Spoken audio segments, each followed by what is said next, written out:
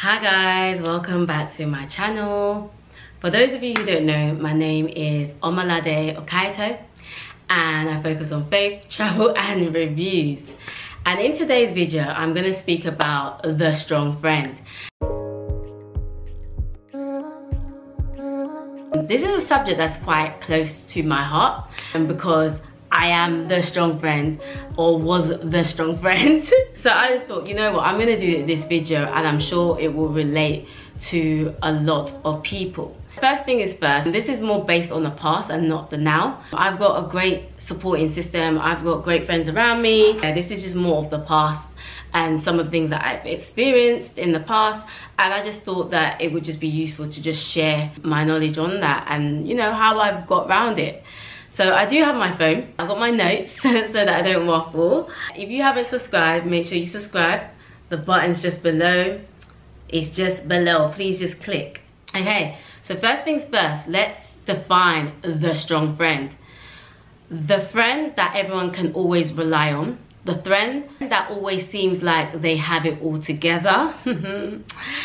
As the strong friend, you are always the cheerleader and you hardly miss any important moments in others' lives.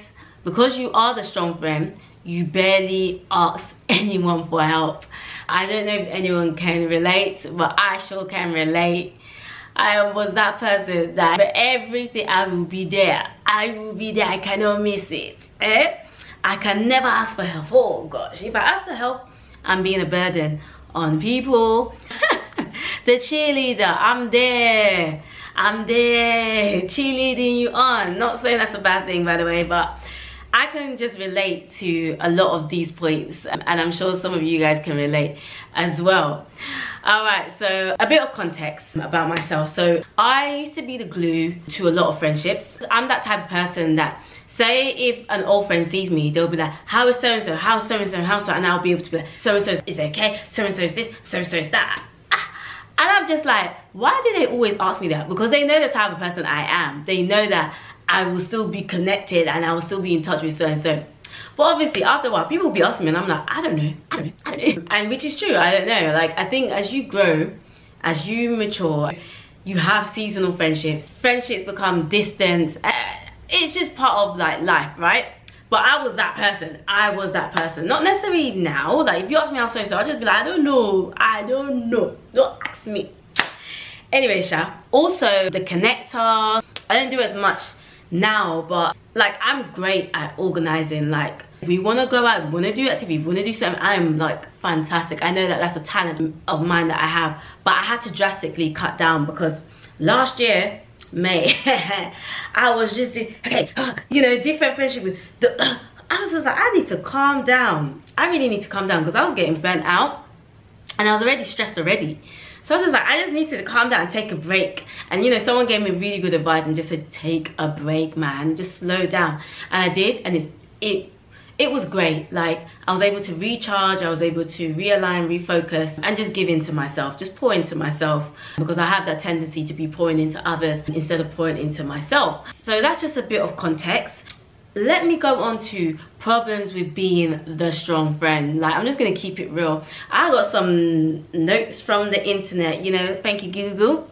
Thank you. These are just some pointers. So don't tend to get the support that you need. There is pressure to maintain being the strong friend. you know, like when people call you and like they're suffering, they're going through a lot of things and they're just like telling you what they're going through. You have your own suffering, you have the, the your own things that you're going through. And you're just like, mm-hmm, yeah, I understand, I'm here for you. But inside you're crying, you're like you are bawling inside because you've got so much stuff that you're going through. Mate that that's me. That, that's been me. And me sometimes i can't lie.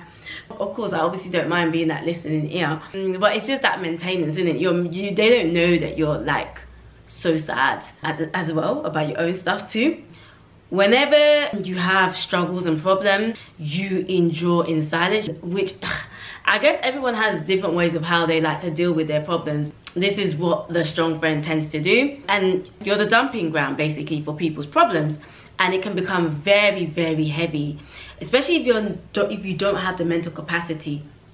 And people just dumping, dumping, dumping, and then you're just receiving, receiving, receiving. And you don't even have the mental capacity, but you're still receiving. You're still receiving. So this is why it's really key to um, set boundaries. And I, have done a video on like setting boundaries and all of that stuff um, in the past. So do check it out. So I think the most important thing is how do you deal with it? How have I dealt with it? And the way I've dealt with it is asking for help. Like, do not be embarrassed to ask for help. Remember asking for help. I, I'm still, you know, I'm, I'm still getting there because I still find it hard to ask for help sometimes. But I'm getting there. yeah, asking for help. And you just never know. You actually just never know. And um, it's okay to tell your friends that you're struggling. Like, um, if you ask me how are you, I just say I'm fine. If you don't ask probing questions, if you don't, you know, hey, you won't know. I'll just say I'm fine. And I think that's a habit that a lot of us do. But if you are struggling, do mention that you are struggling, especially to somebody that you trust. You just never know. Find ways to fill up your tank. Yes. Find ways to fill up your tank to recharge you. Do the things that you like and the things that you enjoy. And like have you time, have a alone time, have self-care time. Do you get mean? pour into yourself because I always say that how are you able to pour to others if you can't pour into yourself? Do you get me? How can you be the best to others if you're not the best to yourself?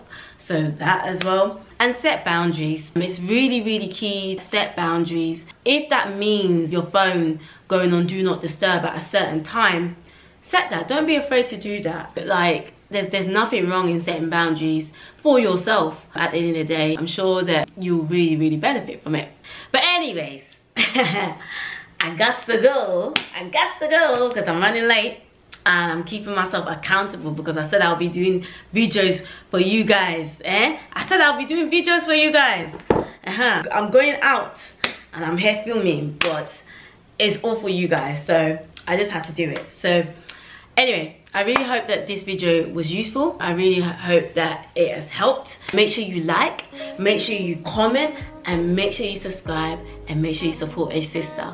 Until next time.